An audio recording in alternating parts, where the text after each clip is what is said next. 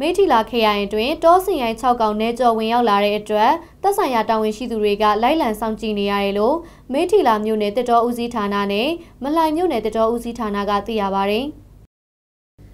ဩဂတ်စ်လ22ရက်နေ့နံနက်ပိုင်းကစင်သတင်းရရှိတဲ့အတွက်သက်ဆိုင်ရာအုပ်ချုပ်ရေးမှုတွေတစ်တော်အဖွဲ့တွေနဲ့အတူတွားရောက်ကြည့်ရှုခဲ့ရာညောင်မေရှိုကျေးရွာနာကဝေယုံတော်အတွင်းစင်6កောင်တွေ့ရှိခဲ့တဲ့အတွက်စင်အုပ်ကိုတစ်တော်တောင်ဝင်ရှိသူတွေကဆက်လက်စောင့်ကြည့်နေတယ်လို့မိထီလာမြို့နယ်ရဲတပ်ဖွဲ့မှရဲမှုမောင်ရွှေကပြောပါတယ်။ မိထီလာမြို့နယ်တတော်ဦးစီးဌာနဦးစီးမှုဦးခန့်ကြီးကလည်းမြို့သစ်နမောက်ရမဲသိန်းတက်ကုန်းဘက်ကတောတွေမှာတောဆင်တွေရှိပြီးမိထီလာတောင်ဘက်တတော်တွေဘက်ကလာတဲ့တောဆင်တွေဖြစ်တယ်လို့သုံးသပ်ထားပြီးလောလောဆယ်ဘယ်ဘက်ကိုဥတီနေမှမသိသေးပဲလူတွေနဲ့ထိတ်တိုက်တွေ့ဆုံခဲ့ရင်အန္တရာယ်ဖြစ်နိုင်တယ်လို့ဆိုပါတယ်။ မလိုင်မြို့နယ်အတွင်းကဆယ်တိုကျေးရွာနဲ့9မိုင်လောက်ဝေးတဲ့နေရာမှာဩဂတ်စ်လ22ရက်နေ့နနက်ဝေလီဝေလင်းအချိန်စင်6កောင်ပါတဲ့စင်အုပ်ကိုတွေ့ရှိခဲ့ပြီးပုပ်ပါဘက်ကိုဥတီသွားဖို့ယူဆရတယ်လို့သိရပါတယ်။အဲဒီစင်တွေဟာတောင်သူတွေစိုက်ထားတဲ့ယာခင်းတွေတွေကိုဖျက်သွားဖျက်လာပြုလုပ်ခဲ့ကြတဲ့အတွက်လိုက်လံဆောင်ကြည့်နေရလို့မလိုင်တတော်ဌာနကတော်ကောင်ဦးတန်းစော်ကပြောပါတယ်။